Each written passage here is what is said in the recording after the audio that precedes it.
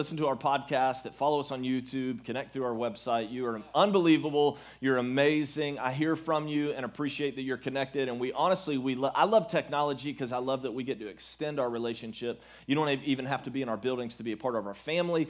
And so I so appreciate you being connected to us w- through church online. Come on, everybody, let's give it up for those. Come on, let's like really give it up. We love you guys. It's awesome. Welcome. Welcome. You are a part of our church family.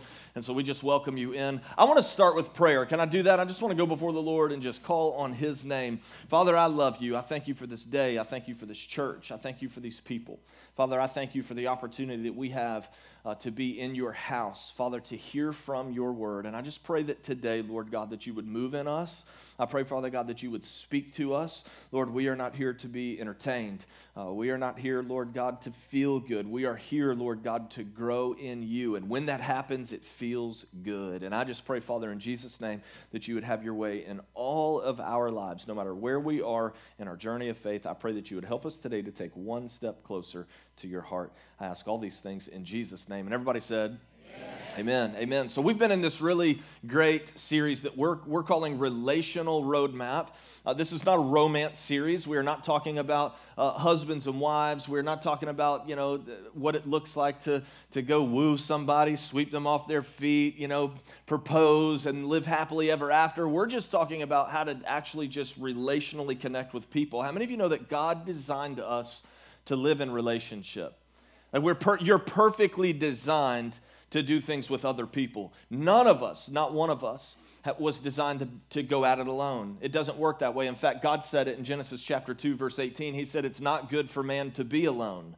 Uh, it just isn't good. Uh, he's designed us to work together, to interact with other people, to, to build relationships. And I really, truly believe that uh, in our church in 2020 that, uh, that our word, I feel like what God is trying to do is bring people to a place of breakthrough. It's, it's what I truly believe. I think it's what God wants for you. I think it's what God wants for me. I think it's what God wants for us as a church family. He wants to see us transition into breakthrough, like something to go somewhere we've never been before. And here's what I want to say to you I believe that some of you are one relationship away from experiencing breakthrough, just one that the right kind of relationship is what you need. It's not a relationship, it's the right relationship. It's the right kind of people. And so we're just trying to bring some things to you that help you to understand how to better connect relationally uh, with others. So let's get started. You ready? Uh, if you've got a worship guide, if that you were given when you came in, if you want to open that up, there's a sermon note insert in there. Uh, would love for you to be a note taker if that's your flow, uh, and if it's not your flow, it's perfectly fine. I honestly, uh, whatever you, however you receive best is how I want you to posture yourself to receive. So if that's writing, write with me. If it's not, it's perfectly fine. But I want to start in this verse uh, in 2 Timothy. The Bible says this Again, I say, don't get involved in foolish, ignorant arguments that only start fights. Come on, how many of you have been guilty of that before? Where you at, right? Verse 24 A servant of the Lord must not quarrel, but must be kind to who? Who, who are we supposed to be kind to? Everyone and must be able to teach, watch this, and be patient with, everybody said the last two words with me be patient with difficult people. That's what we're going to talk about today. We're going to talk about like the tough relationships. How many of you guys ever uh, known somebody that it was that was just hard to love them? How many of you guys have ever known somebody it's hard to like them? It's different, right? I'm a people person. I love people so much. All, I really always have. I think, uh, as long as I can remember, I loved interacting with people. Uh, the older I get, the more I embrace it, the more I love it, the more I appreciate it. The older I get, the more intentional. Apparently, I've become really, really known for this word intentional around our church. I hear people say it all the time, but the more intentional I become with my relationships, I'm very careful. Uh, here's what I've learned that it's not just relationships that matter it is right relationships that matter. And so I think about all my relationships. I think about the way that I interact with people uh, who are on my level, like my peers. And I think about the, the kinds of friends that I have around me and who, who am I spending time with and, and who is building me up and, and, and who is a voice into my life. I, I think about the people that are ahead of me, like mentors, you know, the people that I aspire. Like, man, I really, there's a quality in that person that I really appreciate, that I really like, or that I, that I really want to see become a part of who I am. I'm very uh, intentional. I think about those relationships, and, and I'm very, very careful once I select somebody that it's like, man, I, I really think I can learn from this person, which, by the way, I can learn from every person. I, just by the way, from everybody. But there are certain people that's like, I, I want to hang out with you more because there's something about you that I think I can, I can deposit into my own life that's going to make me a better person. It's going to make me a better friend to other people. I, I do it uh, on another level. I have heroes. These are people, I don't know their names, I've never met them before. But man, I sure aspire to have the qualities that they have, or have the influence that they have, or be able to perhaps pastor the way that they do, or lead the way that they do. And, and so I, am intentional. I, I am very selective on, on who I'm drawing from how much I'm drawing from them, and, and, I, and I even classify what I'm trying to draw. So there are certain, I'm just kind of letting you into my head a little bit. I'm going to be very, very uh, open book for you today because this is something that's very, very real for all of us. And I'm just going to kind of let you into my world some on how I think how I do it. So, so I'm even selective on what I'm drawing from when it comes from some of my heroes. So there are certain people that it's like, I'm just trying to learn how to be a pastor from this guy. I really appreciate the way he leads his church. I love the way he builds his systems. I love the way that he invests into his team. I love the way that uh, his church does this or has this outreach or whatever it may be. And I'm intentionally focusing on drawing that. For others, it's just pure leadership. Man, I just love the way the guy leads. For others, it's, man, that, that is one of the best husbands I've ever seen. I want to love my wife like that. For others, it, it might be something um, even as simple as a, a, a point of excellence. Man, I just love, he is, this dude is excellent. For some of them, it's like, man, I need to get shoes like that. Come on, right? I mean, I'm just crazy about it. Uh, and I think about all these things because there's another relational aspect of my life that I think a lot about, and that's who I'm pouring into. And so, if God has called me to pour into other people, then it's really, really important that I'm very careful about what I'm taking in because what I take in is going to come out. It's all bonus. I didn't even expect to say all this. But I want you to think about relationships. And I want you to become intentional with relationships. And I want you to stop thinking about, like, well, Pastor says I should just be in relationship. No, no, no. You should be in the right relationships. You need the right people to connect to. And so there is going to be some relationships that you need to create separation in. And then there are some others that you need to draw closer to. Come on, am I preaching to anybody? But there's a re- reality about relationships that sometimes we encounter people that are difficult, they, they frustrate you they get on your nerves. You don't like the way they think or the way they talk or the expressions or the mannerisms or what there's just something about them. And here's the here's the part that if you if you could get away from them maybe you just would because it would be easy but how many of you know sometimes you simply cannot because they're your boss? They're your coworker. Maybe it's your parent or one of your children. Maybe it's the neighbor across the cul-de-sac Maybe it's your husband or your wife. Come on, if that's you, you need to register right now for the Vow to Be One marriage weekend coming up. We're going to help you, I promise you, okay? But how many of you know that sometimes we're relationally connected to people that are hard to connect to? That they, it's like they just rub us the wrong way or some, there's friction in the relationship. And the reality is like, I, I can't avoid it. I got to show up and do what this guy says every day. He's my boss. Or the, they sit in the cubicle right next to me. Or it's, it's like the guy that's in the passenger seat of the truck I drive at work, and I, I, I want to punch him in the face. You know what I mean? But I can't. Come on, right? I mean, can we just be real people? Sometimes dealing with other people can be something very tough. And I, so I want to speak into this today. I want to help us understand how to manage tough relationships. Let's just go a little bit further. I'm, I'm going to build a foundation and then we're going to, we're going to work off of it. Uh, I think this is really, really a strong point for us to understand. Romans chapter 3, verse 23, it says, Everyone has sinned. Come on, we all fall short. All of us. So, the first thing we're going to do today is keep it in perspective. Because let me be honest with you there are things about you that other people are frustrated with. Not everybody likes your personality or the way that you think or the way that you handle situations. And I think it's really, really, important for us to just start by understanding that, you know what, I don't have it all together either. It's super quiet, but this is good. It's going to help you. In fact, this week, this week, and this is where I'm just going to kind of let you into my real world because as much as I love people, there are people that I do not like them. I don't. There are people that I really struggle to have relationship with. There are people that I, I don't like to be around, and there are people that fall into that classification that I cannot avoid. So let's figure out how to actually manage those relationships and how to make them work. And so this week, actually, I sent an email out to our entire staff at the church, and I said, Hey, everybody, I need you to help me get better.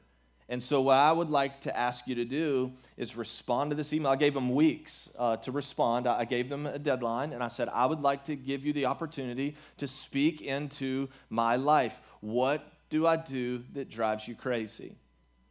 What do you wish I would start doing? What do you wish I would stop doing? What's an area of my leadership that you wish would change and it would serve you better? And I, and I just gave them all these examples, even gave them the opportunity to answer it anonymously. We don't have a large staff. Somebody might want to be honest, but be afraid to put their name on it. So I said, well, just print the thing out and drop it in my inbox, and I, don't, I won't even know who wrote it. But what I need you to do is speak into my life because I want to be better relationally. And some of you guys are like, oh my gosh, are you crazy? No, I want to get better. And, and so I, I want us to kind of slow down to the reality that we don't have it all together. And we are not perfect. And sometimes we just need to ask people who love us enough to be honest hey, what can I get better in? What can I do differently? Can, can I tell you? I mean, like if you'll, if you'll answer or ask that question, I guarantee you people are willing to answer it. They'll give you your top 17 things that you need to adjust. I, they will. I asked my staff, I said, can you, can you just start with one? I did. Because it might hurt. It might hurt. But you want you, you know something that what we're going to do today is we're just going to start with perspective. So yes, every one of us have at least one person probably in our minds right now that is difficult, that frustrate us. We don't agree. We don't always like it, whatever it is, but we can't avoid them. But before we go off on some tangent and start start beating up on them, let's just keep it in a healthy perspective and remember, I'm not perfect either. Come on, can we do that? All right, one more verse, uh, and then we're going to move on. Romans chapter 12. Do, watch this now. Do not repay anyone evil for evil. Sometimes I wish that wasn't there, but this is what the Bible says. It says, Be careful to do what is right in the eyes of everyone. Now, watch this. I thank God that these words are in the Holy Bible, the absolute truth, the Word of God, the living Word of God, if it is possible. Thank you for setting me free if it's possible. And watch this. This is where we're going to focus on right, right here. And as far as it depends on you, everybody say you. Come on, let's try one more time. We're just let's just say it together. As far as it depends on you. Who's the Bible talking about when it says you? So here's, here's where we're coming from today. We are gonna, we are gonna approach this topic of, of difficult people. Like this relationship is tough. I, I, just don't know how much longer I can do this. But what we're going to do is we're going to come to it from the lens that I don't have it all together. And you know what? Instead of me praying, wishing, hoping, and longing that they would change, I'm going to find out what I need to change. Listen, I don't think this is the most popular message I'm ever going to preach.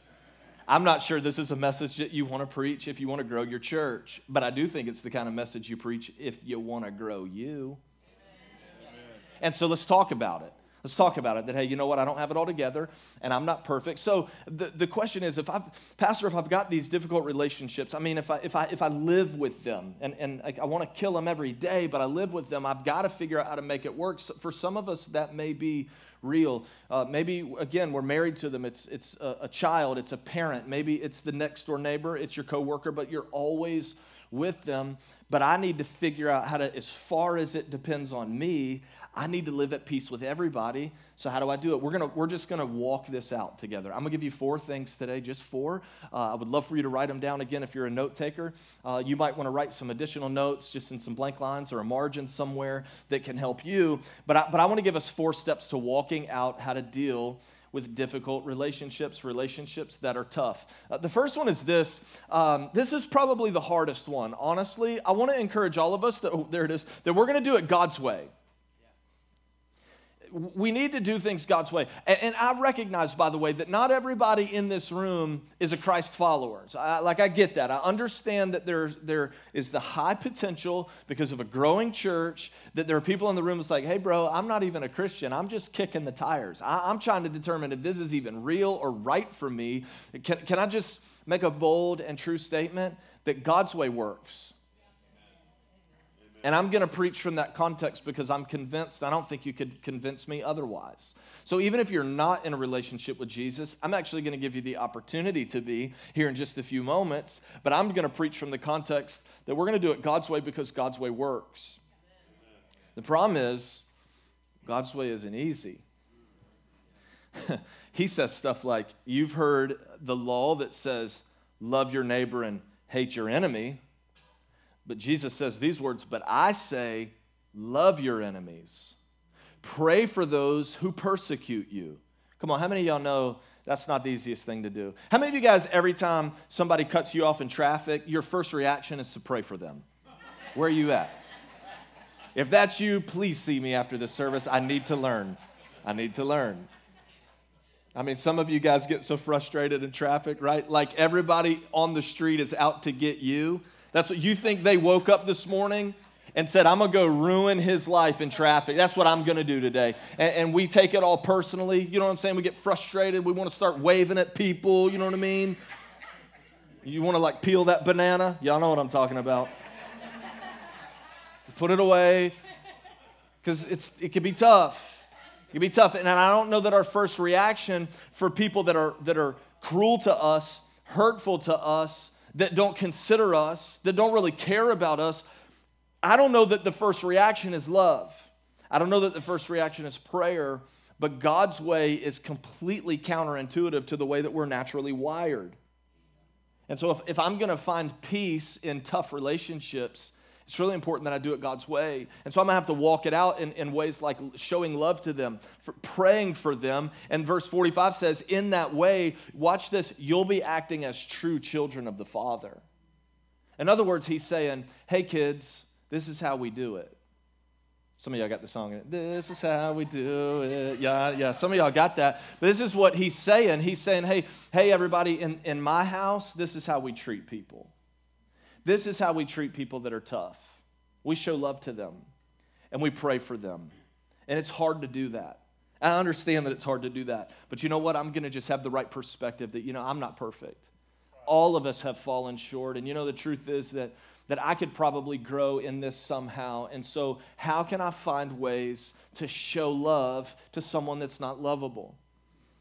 You know what? Could I grit my teeth and just pray for that person? And listen, you might have to grow in your prayer. You know what I mean? You might be praying like some of the Psalms. You know what I mean? Like, smash the teeth of the wicked, Lord. Just smash their teeth. It might start like that, I don't know. But maybe it'll grow into God just just bless them today. I, God, would you just do something good to them? I don't know. I don't know. And it might have to start that way until eventually God will grow us into a place where we just say, God, I just pray that you'll help that person. Maybe, maybe, they're, going, maybe they're going through something that, that I don't see or understand. And maybe some of the expression of who they are comes from a deep hurt within their life. And then all of a sudden, if we can learn to pray for them, I think we can grow in empathy for people. And then when we begin to grow in empathy for people, you know, it's like the, the dude that's, that's just cutting in and out of traffic and, you know, he's making everybody mad. This guy's going to kill somebody. And where are all the police now? Where y'all at right now? Right? You're frustrated or whatever. I mean, maybe he's not trying to be a jerk. Maybe he's trying to get somewhere because he got some emergency phone call and he needs to respond quickly to something that's going on, right? I mean, maybe that's true. Now, it probably probably isn't. But it'll help you. But if I can learn to just do it God's way, then maybe God can change my heart toward tough relationships. Maybe God can change my heart toward difficult people. Are you with me this morning? Uh, another step, we'll just kind of move through them uh, as, really as quickly and efficiently as possible. But uh, I want to encourage you to always show honor. Always. Show honor to the people around you. I told you I was going to be uh, like an open book today. Uh, this week, I'm, so, so Wednesday is my message prep day. Uh, I work from home. I like to. Uh, I'm very. I'm weird. I have all kind of weird things that I do, but but I'm. I have a certain rhythm and a flow that I like to keep on a Wednesday. And so uh, Wednesday, I'm, I'm at my house. I'm preparing a message to preach to our church, and you know I'm going to talk about these tough relationships, and and I'm getting prepared, and I just had to stop. Like, I, I had to stop preparing my message, and I had to go to my email, and I had to type out an email to apologize to two people. I couldn't even finish preparing the message before I decided, you know what? just yesterday, yesterday, like on Tuesday, I did not show honor in my speech towards somebody. And I can't even, I can't, with a, like a pure conscience, I can't even put this point in our notes and not do something about what I did. And so here I had this, um, this moment some, some time ago. You know, I'm a pastor, right? And, and everybody has ideas on how they think everything ought to go or, or whatever. And I'm, I promise you, people, let, they'll let you know what they think. I mean, they'll just tell you.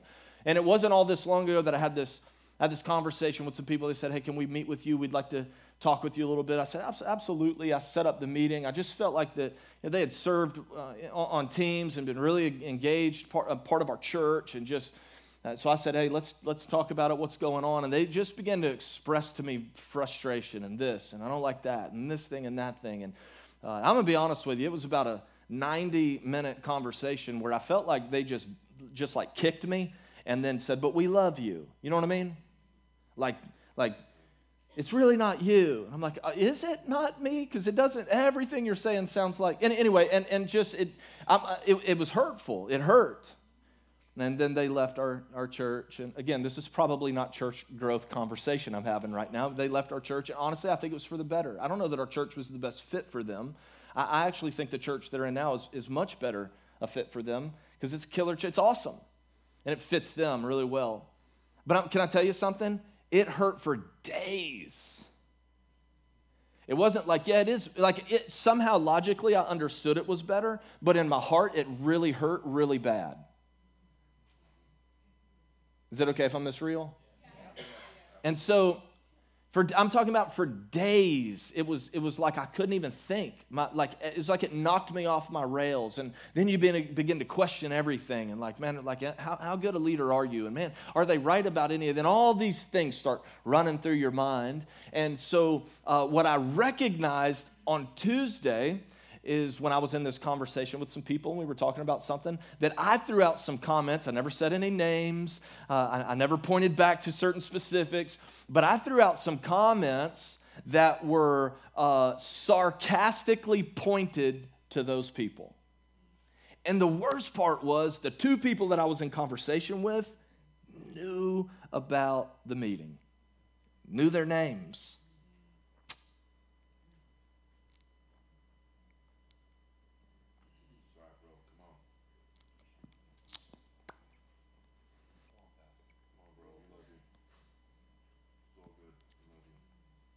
And so I have to put an email together to say, you know something? Not only should a Christ follower not talk like that, but certainly not the lead pastor. I know y'all say cry and all that stuff, but I can't stand it. It drives me nuts about myself. And I just had to send an email and I had to say, I need to I need to tell you guys I'm sorry for not being honorable towards someone else because I didn't have to say it. It was useless to say. I did it to get a cheap laugh, and it came from a place of hurt in me. They weren't the issue, I was. You see, you see where I'm going with this? And so, what, what I had to learn the hard way is you know what? We should always show honor. Because I would hate for anyone to ever choose to leave this church and fear that they're going to be talked about negatively when they do.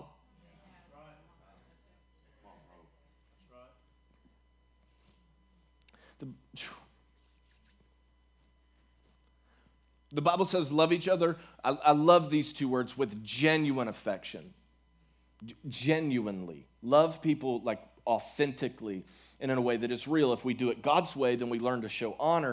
And when we learn to show honor, love becomes more genuine. And then take delight in honoring each other. Y'all remember that part that your mom used to say? If you don't have anything nice to say, for some of us, that'll set us free. If we would just learn, you know what, that it's not even worth saying, it doesn't help them, it's not going to help me. It's not going to help anybody else. It's, it's just unhealthy. And if we can see negative talk, no thank you, if we can see negative talk as, as being unhealthy then it'll help to curve our, our language a little bit. It'll help us to show honor because oftentimes the best way that I can show honor is to say nothing. I just won't say anything. Pastor, what do you think about that church across town? And if I don't think it's a great church, you know what I say? Hey, I don't know much about them. I am not going to speak into that because it's not honorable. It isn't godly. It's not Christ-like. So I want to. I just want to do things God, God's way.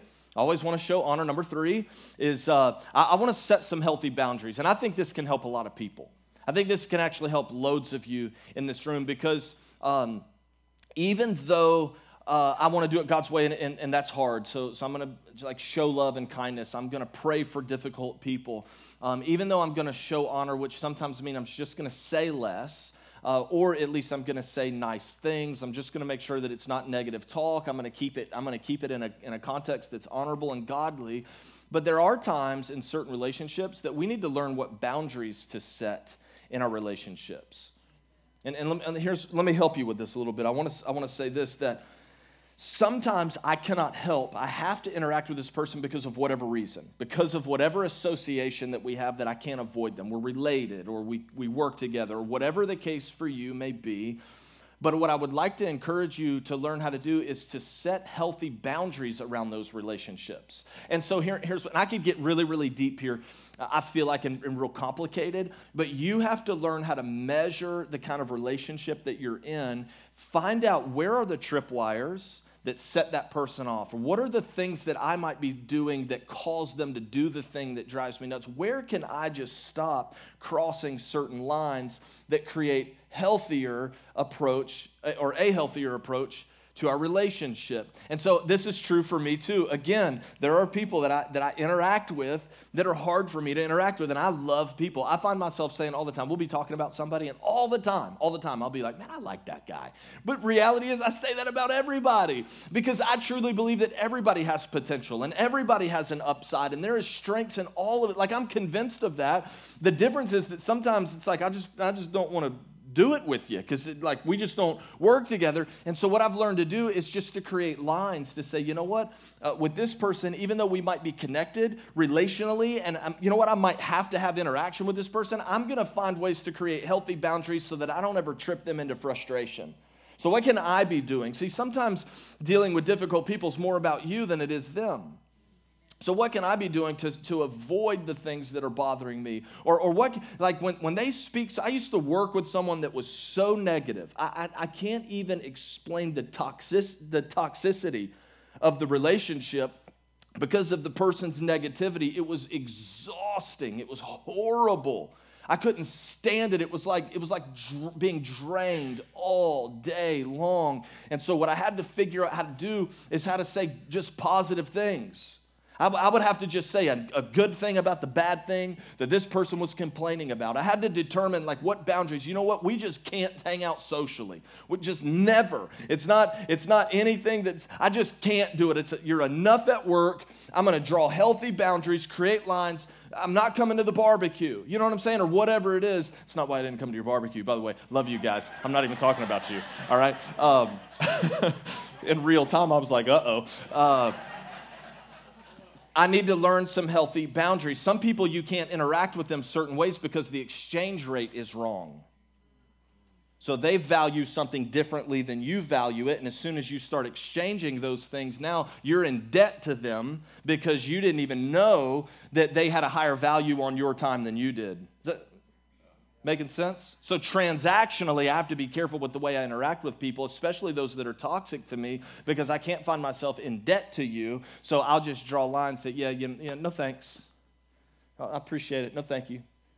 No, I know you can give it to somebody else. I don't, I don't need, whatever the case may be. I hope it's helping. I know that I'm being a little bit ambiguous in some of this in, in certain ways, but I'm doing it just hoping that the Holy Spirit helps you understand boundaries and lines that you can create in your own heart, in your own relationships that maintain health, that reduce friction, that stops fights. You know, so like, you know, when dad's overbearing and driving you crazy, you're like, oh my gosh, I wish he would shut up about it. You know, maybe you've, you've learned that rather than, rather than when he's hot, try to make my point, I will just say, yes, sir, I'm gonna grit my teeth. I'm gonna pray for him that he trips and falls in the garage, you know, whatever. And right, I'm, I'm, that's not good. Uh,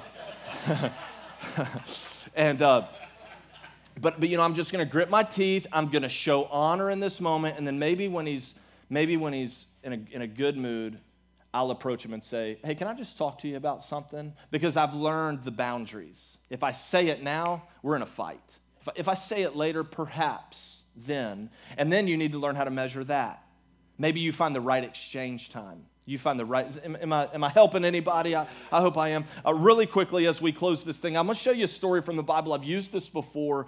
Uh, some of you might see it as familiar, but in Acts, there's this really cool story I, want to, I just want to read to you. The Bible says sometime later, Paul and Silas, or excuse me, Paul said to Barnabas, Let's go back and visit the believers in all the towns where we preached the word of the Lord and see how they're doing. So these guys are just advancing the gospel, man. They're just getting, they're just growing the church as we know it today. I mean, they are fired up about Jesus, who's already been, uh, been crucified and buried and risen. He's ascended to the Father in the church. I mean, as we know it today, it's just growing rapidly, and these guys are a major, major part of it.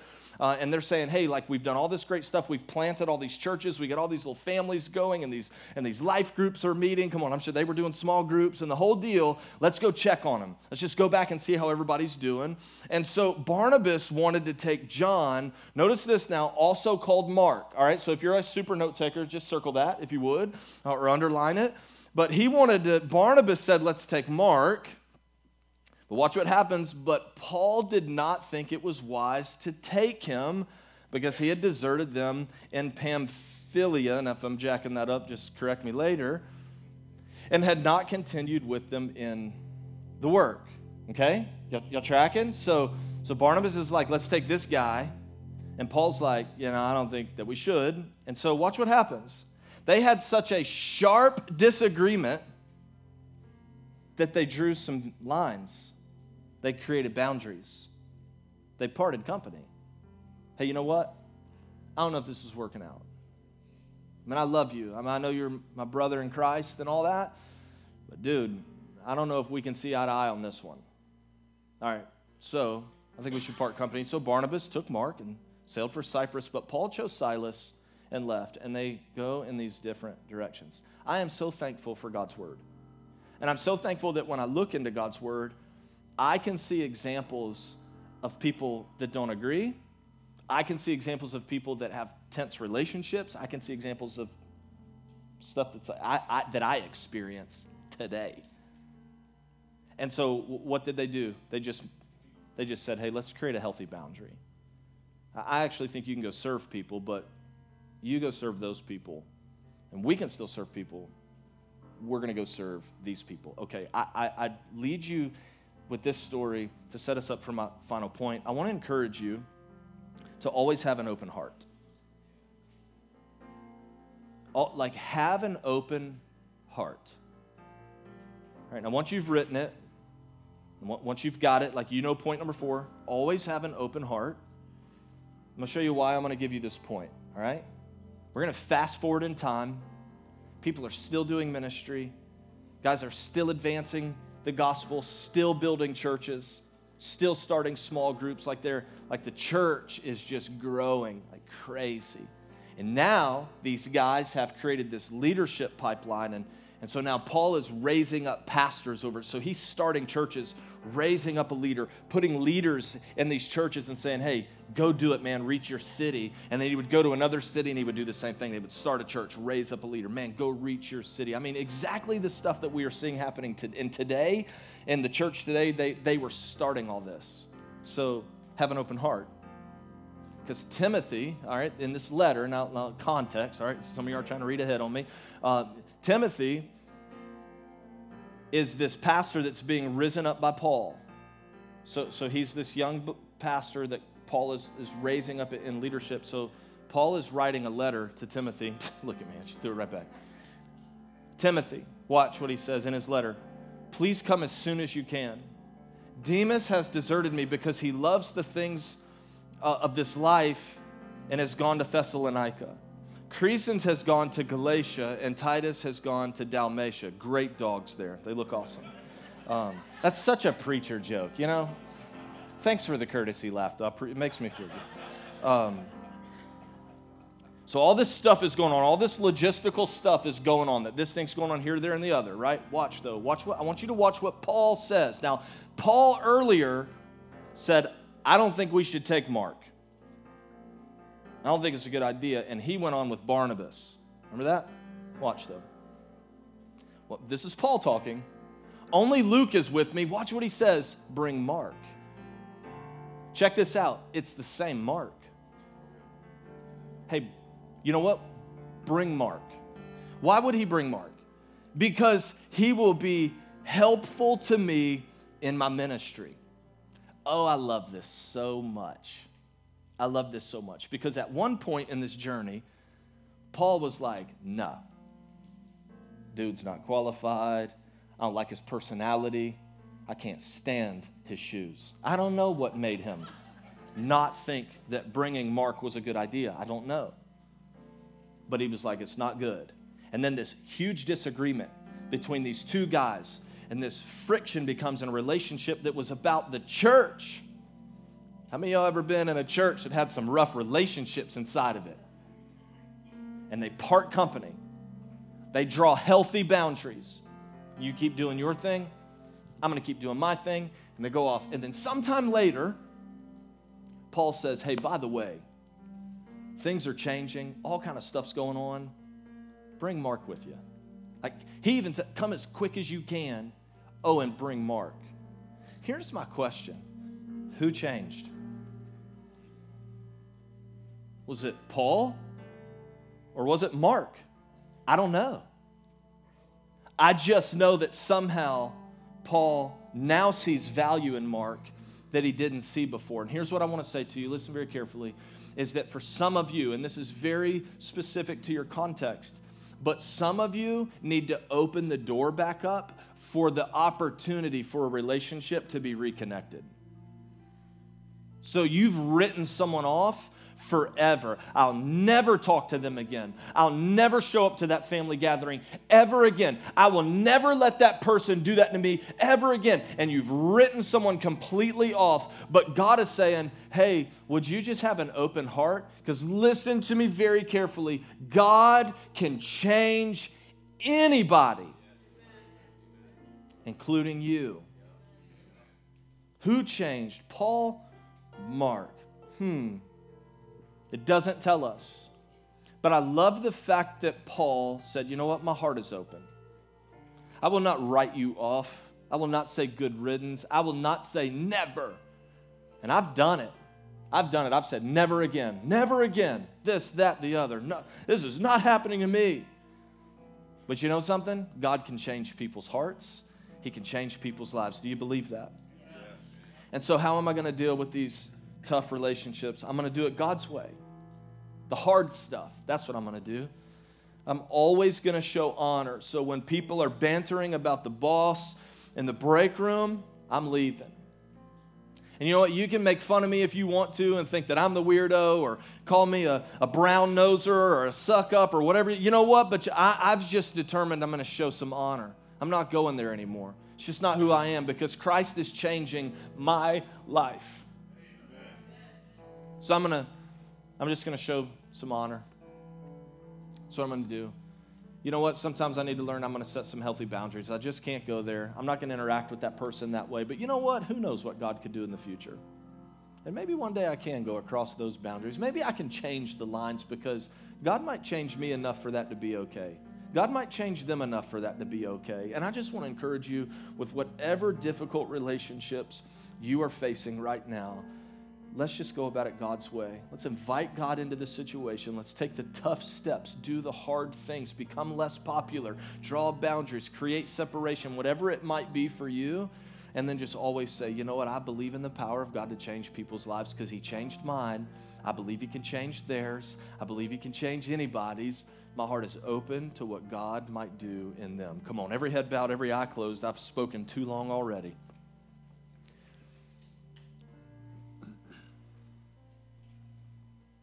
Some of you, just by listening to this message, have started to gain a belief that perhaps God could change your heart. Man, maybe God could change me. And I'm just here to tell you, He absolutely can. So, what I want to do is give you the opportunity to start a relationship with Him today. I'd like to give you the opportunity to encounter Jesus right now. Can I tell you something?